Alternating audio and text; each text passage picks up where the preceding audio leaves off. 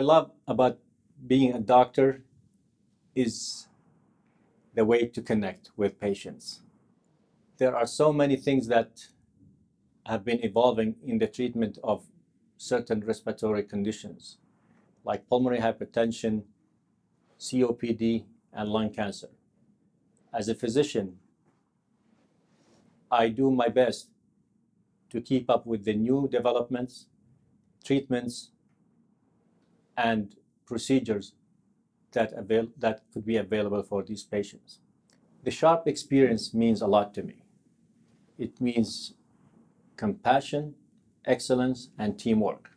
I am being described as calm and shy person. But when I am in the practice, when I am in the soccer field, I am the loudest soccer dad.